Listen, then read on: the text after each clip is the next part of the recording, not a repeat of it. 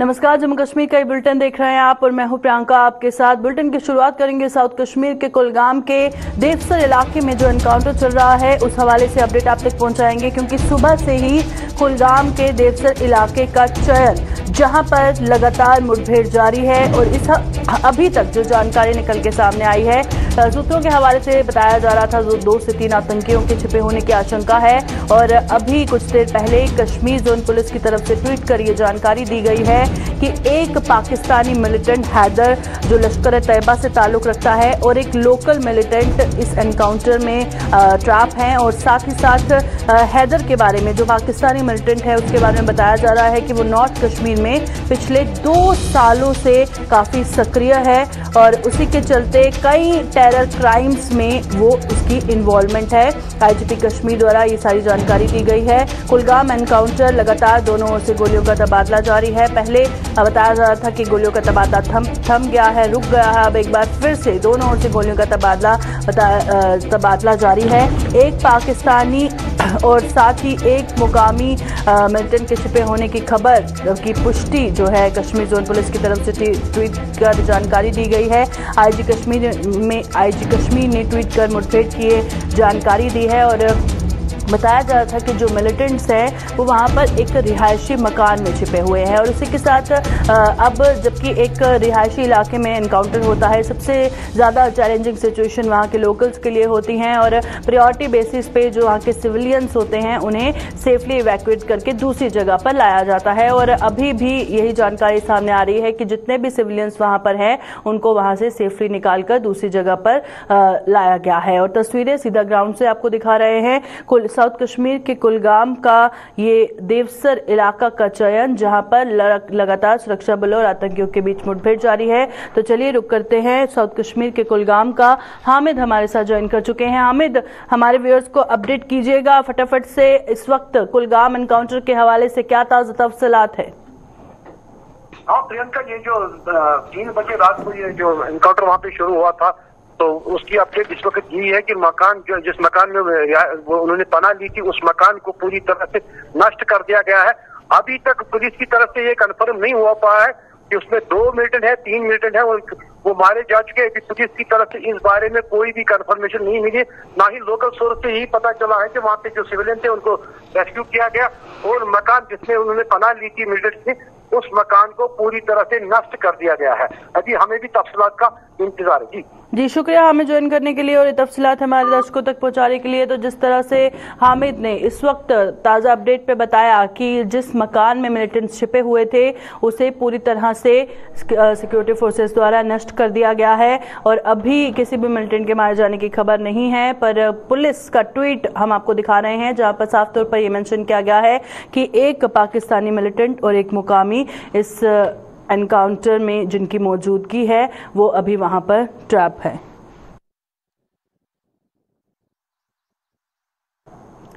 तो चलिए बढ़ते हैं आगे और अब बात करेंगे एक अहम खबर की। जिस तरह से जम्मू कश्मीर पीपल फोरम द्वारा श्रद्धांजलि समारोह का आयोजन किया गया है देश भर में रहने वाले पीओजे के विस्थापितों के लिए ये ने इस कार्यक्रम में भाग लिया है और कबालियों के आक्रमण में शहीद हुए पीओ के लोगों को श्रद्धांजलि दी जा रही है। तो एक बेहद ही अहम खबर जम्मू कश्मीर पीपल्स फोरम की ओर से आयोजित इस कार्यक्रम में जम्मू कश्मीर ही नहीं, बल्कि देश भर में रह रहे पीओजे के छम भूकंप और उन्नीस सौ पैंसठ और उन्नीस सौ इकहत्तर के युद्ध में विस्थापित जो लोग हुए हैं, वो इसमें शामिल हुए हैं और कार्यक्रम कार्यक्रम के आयोजक जो है, उनका ये भी कहना है कि 15 अगस्त उन्नीस को संघर्ष, बलिदानों और प्रयासों से भारत स्वतंत्र हुआ और कुछ ही महीनों के बाद पाकिस्तान ने 22 अक्टूबर को कबालियों को साथ लेकर आक्रमण कर दिया था। इसमें सैकड़ों लोगों की हत्या कर दी गई थी। लाखों लोग को जन्मभूमि छोड़कर दरबदर होना पड़ा। मीरपुर, भिम्बर, कोटली बागपोलंदरी सदनोती, मुजफ्फराबाद, गिलगित, बल्तिस्तान और पुंछ के लोगों को पलायन करना पड़ा था और सैकड़ों सैनिकों को प्राणों की आहुति देनी पड़ी थी। पाकिस्तान ने इन सभी इलाकों पर कब्जा कर लिया, जिसे पीओजेके के नाम से जाना जाता है और उनके अनुसार कबायलियों के आक्रमण में हज़ारों हिंदू और सिखों की निर्मम हत्या कर दी गई थी। उनके परिजनों को घरों में ज़िंदा जला दिया गया था। महिलाओं पर भी जुर्म ढाए और इस नरसंहार के चलते हज़ारों हिंदू, सिख परिवारों को अपनी जन्मभूमि एवं संपत्ति छोड़कर पलायन करना पड़ा और इसी दौरान कई लोग अपनों से ऐसे बिछड़े कि आज तक उन्हें अपनों का पता नहीं चल पाया है। उन्नीस और उन्नीस के भारत पाकिस्तान युद्ध से प्रभावित सीमावर्ती क्षेत्र छम से भी हज़ारों लोगों को पलायन कर विस्थापितों के रूप में जीवन यापन करना पड़ा था। जम्मू कश्मीर पीपल्स फोरम के अध्यक्ष रमेश सबरवाल ने यह भी बताया कि संसद ने पीओजेके को वापस लेने का प्रस्ताव भी पारित किया हुआ है और ऐसे में विस्थापितों को सभा के माध्यम से जागरूक किया जाएगा। जहाँ एक तरफ़ श्रद्धांजलि समारोह का आयोजन किया जा रहा है, वहीं लोगों को विस्थापितों को इसके माध्यम से जागरूक भी किया जाएगा। राजनीतिक सशक्तिकरण के प्रयासों की भी याद इसमें दिलाई जाएगी। आयोजकों ने यह भी कहा है कि पीओजेके के हज़ारों विस्थापितों को जम्मू कश्मीर की तत्कालीन सरकार की नीति के कारण जम्मू कश्मीर कश्मीर के बाहर भी भटकने को विवश होना पड़ा।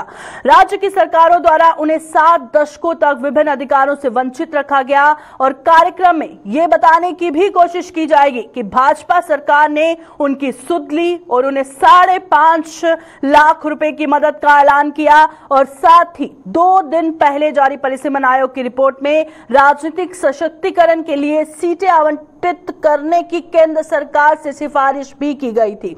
और ए, ए, अगर इस आयोजन जिस, जिसकी तस्वीर इस वक्त आप अपनी स्क्रीन पर देख रहे हैं इस तरह का पहला ऐतिहासिक आयोजन है ये। जम्मू कश्मीर पीपल फोरम के प्रोफेसर राजीव रतन ने यह भी बताया कि पीओजेकी के बलिदानियों को श्रद्धांजलि देने और अपने पूर्वजों की पुण्य भूमि का स्मरण करने के लिए यह अपनी तरह का पहला ऐतिहासिक आयोजन है। तो चलिए सीधा रुख करते हैं जहाँ पर ये कार्यक्रम का आयोजन हुआ है। वहाँ से ऋतिक रितिका राजपूत हमारी संवाददाता ज्वाइन कर चुकी है। रितिका, बताइएगा, एक ऐतिहासिक आयोजन श्रद्धांजलि समारोह का आयोजन किया जा रहा है और साथ ही जो विस्थापित है, उन्हें जागरूक किया जा रहा है, और क्या कुछ खास है इस कार्यक्रम में?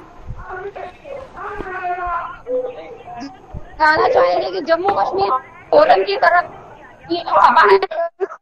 किया है और बात है सालों के बाद पाकिस्तान जब नाइनटीन पाकिस्तान के कब्जे में पीओ जे यानी कि पाक ऑक्यूपाइड जम्मू कश्मीर श्रद्धांजलि देने के लिए आज का समारोह जो है वो आयोजित किया गया आज के समारोह पाक ऑक्यूपाइड जम्मू कश्मीर को वापस लाने की जो नारे हैं वो उन्होंने लगाए हैं। उनका कहना है कि उन्हें अपनी जमीनें वापस चाहिए जो कि उन्होंने बलिदान दिए हैं। आज से इतने साल पहले जिन भी लोगों का बलिदान हुआ था। जिन भी लोगों का बलिदान हुआ था। उनकी जगह है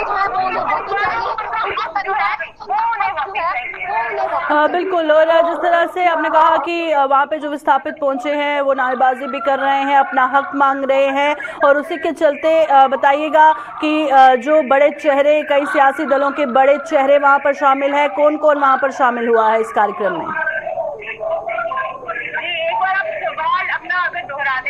जी बिल्कुल, रितिका बताइएगा, विस्थापितों द्वारा वहाँ पर नारेबाजी की गई है अपना हक मांगने के लिए और साथ ही सियासी दलों में कौन से बड़े चेहरे हैं जो इस कार्यक्रम में शामिल हुए हैं?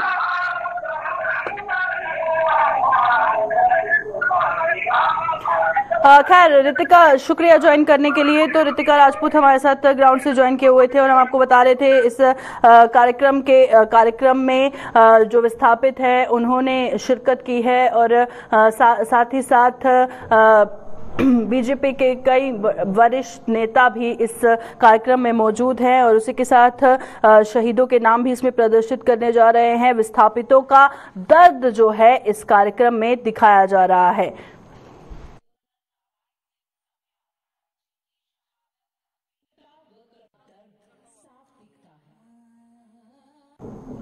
तो चलिए, अब बात करते हैं अमरनाथ यात्रा के हवाले से, क्योंकि इस पल का बेसब्री से हर श्रद्धालु को इंतज़ार है और इसकी तैयारियाँ मुकम्मल करने की हर मुमकिन कोशिश की जा रही है। अमरनाथ यात्रा को लेकर तैयारियाँ जोरों पर है। डीसी गांधरबल ने बालटाल बेस कैंप का दौरा किया है और यात्रा की तैयारियों का डीसी ने जायजा लिया है। और अगर हम बात करें अमरनाथ यात्रा की तो पहले पिछले कुछ सालों से यात्रा किन्हीं कारणों से जब नहीं हो पाई है तो इस साल श्रद्धालुओं को इसका बेसब्री से इंतज़ार है। काफ़ी उत्साहित है श्रद्धालु और उसी से, उसके पहले जो तैयारियाँ मुकम्मल करने का काम जारी है, उसी बीच डीसी गांधरबल ने DC Ganderbal Baltal base camp पहुँचे और वहाँ पहुंचकर उन्होंने दौरा किया और यात्रियों की यात्रा की जो तैयारियाँ हैं, उसका डीसी ने जायजा लिया है। अमरनाथ यात्रा को लेकर जो तैयारियाँ हैं, वो जोरों पर हैं। तो अगर अमरनाथ यात्रा की बात करें तो सिर्फ़ श्रद्धालुओं को नहीं, बल्कि वहाँ पर जो लोग हैं, जो मुकामी लोग हैं, उनको भी इंतज़ार रहता है कि कब उनको भी मेहमान नवाजी का मौका मिलेगा। और साथ ही साथ, जब अमरनाथ यात्रा जितने दिन भी चलती है तो वहाँ के जो रोज़गार है, वो बढ़ता है और साथ में जो कारोबार है, उसमें बढ़ोतरी होती है। तो वहाँ के जो लोकल्स हैं, उनको भी बेहद खुशी होती है जो अमरनाथ यात्रा के लिए जो श्रद्धालु हैं, वहाँ पर पहुँचते हैं। कुछ लोग बालटाल के रास्ते से जाते हैं, कुछ लोग पहलगाम के रास्ते से जाते हैं। तो अगर हम बालटाल बेस कैंप की बात करें तो तस्वीरें इस वक्त आप स्क्रीन पर देख रहे हैं, जब डीसी गांधरबल वहाँ पर पहुँचे और बालटाल बेस कैंप का दौरा उन्होंने किया और तैयारियों का जायजा लिया। तो चलिए रुक करते हैं गांधरबल से। सलीम वानी हमारे संवाददाता ज्वाइन कर चुके हैं। सलीम, बताइएगा इस खबर के हवाले से और क्या जानकारी है?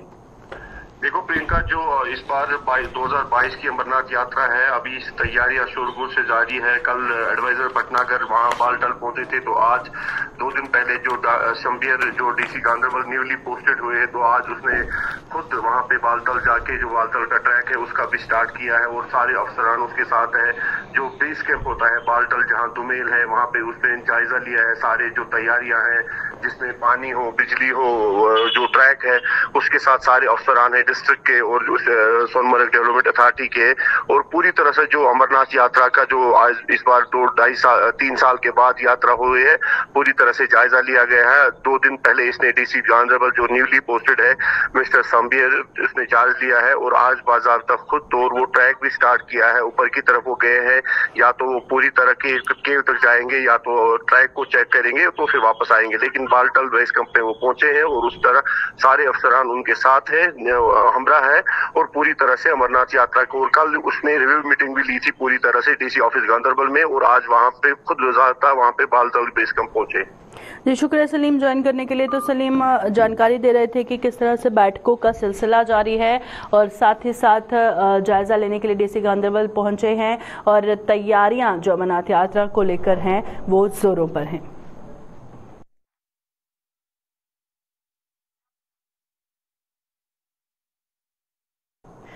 तो चलिए रुक करते हैं अब सांबा का, क्योंकि सांबा से खबर सामने आ रही है कि सांबा में एक बेयर फैक्ट्री में जहरीली गैस का रिसाव हुआ है और जहरीली गैस के रिसाव से कई फैक्ट्री कर्मी बेहोश हो गए हैं। बेहोश कर्मचारियों को फ़िलहाल जिला अस्पताल में भर्ती करवाया गया है और उनकी हालत खतरे से बाहर बताई जा रही है। कंडीशन उनकी स्टेबल बताई जा रही है।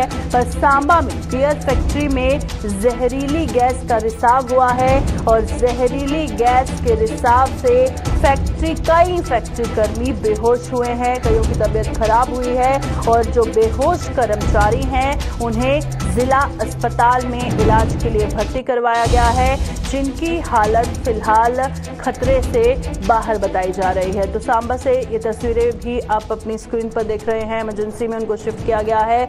और चलिए रुक करते हैं सांबा का हमारे संवाददाता ऋषि खजूरिया हमारे साथ ज्वाइन कर, चुके हैं। ऋषि बताइएगा फ़िलहाल इस खबर के हवाले से क्या अपडेट है?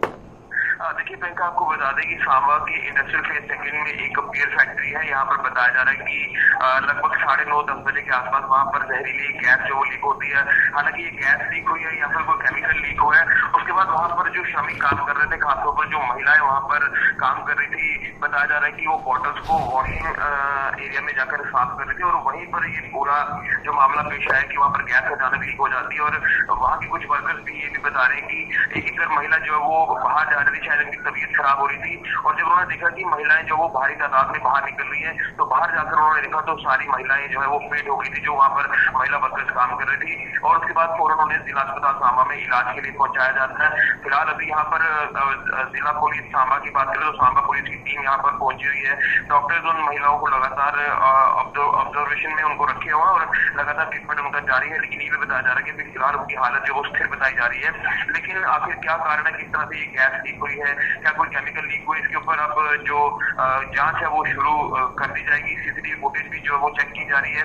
लेकिन आपको बता दें कि जो संख्या बताई जा रही है, जो महिलाएँ यहाँ पर भी बीमार है, आठ से दस जो संख्या ये बताई जा रही है, जो अनकॉन्शियस कंडीशन में यहाँ पर उन महिलाओं को यहाँ अस्पताल में लाया गया है। उसी के साथ साथ आपको बता दें कि पुलिस जो है, तमाम उन एम्प्लॉयज़ के साथ बात कर रही है। वहाँ के जो एम्प्लॉयज़ है, जो एचआर हेड है, वो भी यहाँ पर पहुँचे और उनसे भी पूरा इन्वेस्टिगेट कर रही है कि आखिर क्या कारण है। लेकिन ये अ, बताया जा रहा है कि कुछ बॉटल जो वहाँ पर वॉशिंग पॉइंट पे साफ़ की जा रही थी वहीं पर बताया जा रहा है कि शायद हो सकता है कि किसी बॉटल में कोई केमिकल होगा लेकिन ये अभी जो है वो सुनने वाली बातें हैं लेकिन इसके ऊपर एग्जैक्ट क्या जो मामला सामने आता है ये तो हमें इसको वेट करना होगा पुलिस तफ्तीश लगातार कर रही है लेकिन आठ से दस महिलाएँ जो है ये अनकॉन्शियस कंडीशन यहाँ लाई गई ये फैक्ट्री में जो पूरा मामला पेश आया कि गैस लीक या फिर केमिकल लीक होने के बाद ये महिलाएँ बीमार हुई है शुक्रिया ऋषि ज्वाइन करने के लिए। तो ऋषि खजूरिया जानकारी दे रहे थे कि कई महिला वर्कर जो वहाँ पर मौजूद थी, वो बीमार हो गई हैं फेंट हो गई थी, जिसके बाद उन्हें जिला अस्पताल वहाँ पर पहुँचाया गया। फ़िलहाल उनकी हालत स्टेबल बताई जा रही है। किस तरह से ये गैस लीक हुई,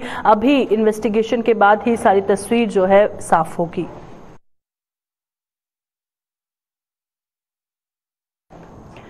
जिला सांबा के रामगढ़ थाना क्षेत्र में कार और बाइक के बीच टक्कर हो गई, जिसमें बाइक पर सवार दो युवक गंभीर रूप से घायल हो गए।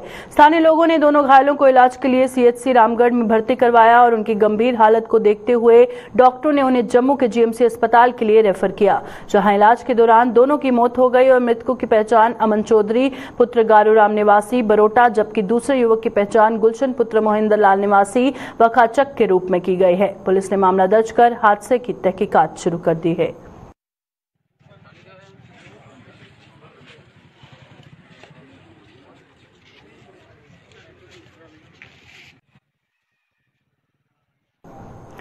आज यानी कि 8 मई के दिन पूरे विश्व में अंतर्राष्ट्रीय रेड क्रॉस डे के रूप में मनाया जाता है। जम्मू शहर के कच्ची छावनी में स्थित रेड क्रॉस भवन में अंतर्राष्ट्रीय रेड क्रॉस डे पर आयोजित कार्यक्रम का शुभारंभ डिफकॉम जम्मू व Indian Red Cross Society Jammu region के चेयरमैन रमेश कुमार ने किया। बताते चले कि विश्व रेड क्रॉस दिवस पर हर साल आठ मई को मनाया जाता है और इसका उद्देश्य अंतर्राष्ट्रीय रेड क्रॉस और रेड क्रिसेंट आंदोलन के सिद्धांतों को याद करने के लिए मनाया जाता है और ये दिवस आठ मई को हेनरी डुनेंट की जयंती पर मनाया जाता है। जो रेड क्रॉस के अंतर्राष्ट्रीय समिति के संस्थापक थे और इस दिन लोग इस मानवतावादी संगठन और इसकी ओर से मानवता की सहायता के लिए दिए गए अभूतपूर्व योगदान को याद करते हैं। रेड क्रॉस डे को आज सेलिब्रेट किया गया है। रेड क्रॉस सोसाइटी का मेन एम होता है कि जो सोसाइटी में यदि किसी तरीके को क्राइसिस हो, कुछ हो, उसमें रिलीफ और समाज सेवा के लिए कार्य करते रहें। तो यहाँ regional Red Cross Society Jammu जो है, उन्होंने बड़ा रिलीफ के लिए स्किल डेवलपमेंट के लिए और कई जगह मेडिकल असिस्टेंस इमरजेंसी में बड़ा काम करते हैं और वॉल्टियर्स को बहुत बहुत शुभकामनाएँ। और जो रीजनल रेड क्रॉस सोसाइटी है, जो जम्मू प्रोविंस में किसी भी तरह का क्राइसिस हो, किसी भी तरह की रिलीफ हो, किसी भी तरह की अवेयरनेस हो, उसके लिए तत्पर रहेगा और हम कार्य करते हैं। आज का प्रोग्राम ये है कि आप सब भाइयों को पता है कि ये दिन साल में एक बार आता है, जो कि मानवता की रक्षा, सहायता, सुरक्षा गरीब नीडी, सफरर, जख्मी, कोई भी आदमी हो तो ये जो रेड क्रॉस सोसाइटी है, ये सोसाइटी नहीं है, एक बहुत बड़ी मिशनरी है, जो कि हर इंसान के काम आती है, सिर्फ़ इंसान के नहीं आती, जिनकी बेजुबा हैं, उनके काम भी आती है, चाहे वो स्ट्रीट डॉग हो, चाहे गाय हो, चाहे कुछ भी हो रेड क्रॉस का जो निशान जिसके पीठ पे होता है, वो सब काम छोड़ के पहले जख्मी को, पहले बेसहारा को पूरा सहारा देता है। उसी के उपलक्ष्य में आज सर जीन हेनरी डोनेट जिन्होंने इसकी नींव अठारह में रखी थी, उनका जन्मदिन है और उनके जन्मदिन पे आज इसको पूरे विश्व में मनाया जा रहा है और जम्मू ब्रांच भी इसको बढ़ चढ़ के चेयरमैन डिविजनल कमिश्नर साहब की अध्यक्षता में इसको मना रही है। वहीं इंडियन रेड क्रॉस सोसाइटी की ओर से आज उधमपुर में भी विश्व रेड क्रॉस डे के उपलक्ष्य पर एक कार्यक्रम का आयोजन किया गया और इस बार का थीम भी ह्यूमन काइंड रखा गया है और उधमपुर में सेमिनार का आयोजन कर बताया गया कि किस तरह से हमें दूसरों की मदद के लिए तैयार रहना चाहिए और हमें सिर्फ़ अपनी नहीं, बल्कि दूसरों की भलाई के बारे में भी सोचना चाहिए। और हम एट्थ मई को सेलिब्रेट करते हैं इंटरनेशनल डे। ये स्टार्ट हुआ था इंटरनेशनल डे जो है, ये ये स्टार्ट हुआ था अठारह में। अठ, नहीं, सॉरी, अठारह में। वो ऐसे हुआ कि जो हेनरी डोनाल्ड था, वो अपने बिज़नेस के, उसमें हिसाब से जा रहा था, कहीं बाहर इटली की तरफ़ तो रास्ते में उसने साल फ्रेनो का एक गाँव है, वहाँ उसने जंग देखी थी, जो कि दो कंट्रीज़ के दरमियान थी। तो वहाँ 24 घंटे के अंदर कोई चालीस हज़ार आदमी कुछ जख्मी हो गए थे या मर गए थे और वो वहाँ से छोड़ के भाग गए थे, जो वहाँ सफरर थे। इसने जब उसको देखा तो जो आगे पीछे गाँव हैं, उनके वहाँ से लोगों को लाया। लाने के बाद उनकी नर्सिंग की, जो जिनकी कोई डेथ हो गई थी, उनको डिस्पोजल किया और राशन वगैरह, बच्चों को कपड़े वगैरह दिए। उसके बाद वो वापस आ गया जनवा।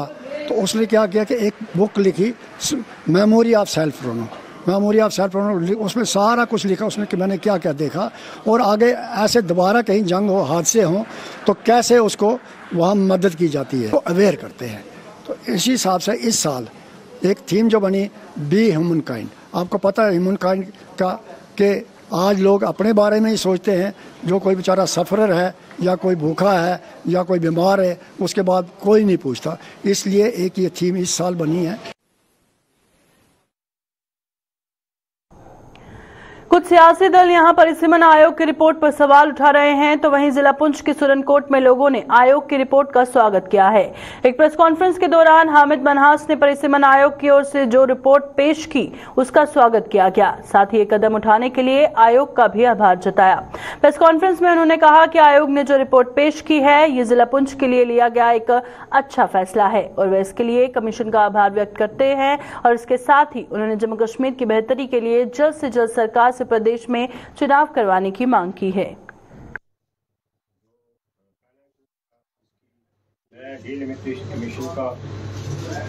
शुक्रिया अदा करता हूँ, खास करके डिस्ट्रिक्ट कोच का, जो पहले जो इसकी डिमार्केशन हुई थी वो नहीं ठीक लेकिन अब जो उन्होंने किया बिल्कुल दुरुस्त की है और हम अप्रिशिएट करते हैं। और अपनी तरफ़ से और अपने सब लोगों की तरफ़ से बार बार पेश करते हैं कि खासकर डिस्ट्रिक्ट कोर्ट ने जो किया बेहतरीन किया और यही होना चाहिए यही एक इंसाफ है। और पूरी सुप्रीम कोर्ट के अवाम की तरफ़ से मैं उनको मैं अपनी तरफ़ से मुबारक पेश मैं नरेंद्र मोदी जी जो हिंदुस्तान के वजेर आज़म हैं मैं उनसे भी गुजारिश करता हूँ कि हमारी स्टेट का बहुत जल्दी इलेक्शन करवाया जाए, क्योंकि इलेक्शन के बगैर जो असम्बली के जो लोग चुने होते हैं उन्हीं के थ्रू जो है गवर्नमेंट होती है। आपने हालात किस जम्मू कश्मीर के ऐसे बन गए, उसको यहाँ पर गवर्नर राज लग गया तो आपने इसको हालात को आपने कंट्रोल किया। लेकिन इसको तो इलेक्शन बहुत ज़रूरी है। यहाँ की डेवलपमेंट बहुत ज़रूरी है। जम्मू शहर या श्रीनगर की बात करूँ तो चलो मान लेता हूँ। लेकिन डिस्ट्रिक्ट पुंछ रजौरी डोडा डिस्ट्रिक्ट ये जो पिछड़े हुए इलाके हैं जहाँ पर जब तक यहाँ का सेट के मेले नहीं होगा तब तक लोगों के मसाइल बस हिल काका में अगर इसको पानी नहीं है तो वो लोगों का मसाइल वो एक एम ही सुन सकते हैं। जम्मू नगर निगम की स्वच्छ भारत समिति के चेयरमैन हरदीप सिंह मनकोटिया ने मांडा स्थित निगम की ट्रांसपोर्ट यार्ड का दौरा किया और इस दौरा जीएमसी के सहित अन्य अधिकारियों भी उनके साथ मौजूद रहे और इन, इस दौरान उन्होंने ट्रांसपोर्ट, यार्ड का निरीक्षण किया और यार्ड में तैनात जम्मू नगर निगम के कर्मचारियों को पेश आ रही समस्याओं की जानकारी हासिल की। इस अवसर पर हरदीप सिंह मनकोटिया ने कहा कि मांडा ट्रांसपोर्ट यार्ड का मौजूदा बुनियादी ढांचा अच्छी स्थिति में नहीं है और यार्ड के नवीनीकरण की तत्काल आवश्यकता है। उन्होंने कहा कि यार्ड में तैनात कर्मचारियों के बैठने के लिए उचित व्यवस्था भी नहीं है। कर्मचारियों के बैठने के लिए उचित व्यवस्था और यार्ड के नवीनीकरण करने के लिए लिए भी अधिकारियों को दिशा निर्देश दिए गए हैं। उसमें इधर आके देखा कि जहाँ पे तो सबसे पहले जो समस्या है, जहाँ के स्टाफ के बैठने की उनके बाथरूम वगैरह की कोई व्यवस्था है नहीं। और समस्या, सबसे बड़ी समस्या है कि जहाँ पे फॉरेस्ट वाले कंस्ट्रक्शन नहीं करने देते हैं। और उसके लिए ही हम देखते हैं कि इसका लैंड टाइटल का स्टेटस क्या है और इसको किस ढंग से हमारे जॉइंट कमिश्नर वर्क्स ने बताया है कि इनकी परमिशन पोर्टल के थ्रू मिल सकती है। तो जम्मू म्यूनसिपल कॉरपोरेशन की तरफ़ से हम अप्लाई करेंगे। तो जो भी फॉर्मेलिटीज होंगी उसको पूरा करके और इसको बड़ा खूबसूरत तरीके से हम इसको डेवलप करना चाहते हैं। और जो हमारी जम्मू म्यूनसिपल कॉरपोरेशन की प्रॉपर्टी है वो उसका सही ढंग से इस्तेमाल हो सके हमारे जो जहाँ पे स्टाफ है वो आराम से रह सके। अभी बरसात आ जाएगी है जंगल बना हुआ है तो इनके स्टाफ के कोई बच्चे भी रहते हैं जहाँ पे चौकीदार वगैरह और इतना करोड़ों रुपये का सामान पड़ा हुआ है जहाँ पे। और इसकी आ, कोई प्रोटेक्शन नहीं है कोई गेट नहीं है दोनों साइड कोई सीसीटीवी कैमरे नहीं है। तो उसके लिए हम मेरे साथ ये क्या नाम एक्शन प्रोजेक्ट के भी हैं तो इनको बोल दिया गया है कि इनकी रेनोवेशन और इसके लिए जो भी व्यवस्था की जा सकती है, वो। अभी के बुलेटिन में फ़िलहाल इतना ही, दीजिए इजाज़त, नमस्कार।